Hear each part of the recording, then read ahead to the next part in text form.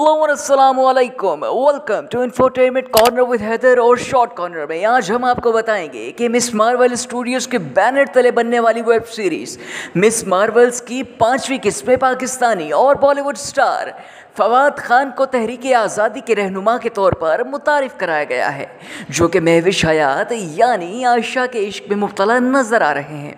नाजरन कराम दाओं ने सीरीज़ की पाँचवीं किस्में, फवाद खान और महविश हयात की केमिस्ट्री को खूब पसंद किया है और इनकी अदाकारी को बेहद सराया है। जिसके बाद फवाद खान का नाम ट्विटर पर टॉप ट्रेंड भी बन गया है।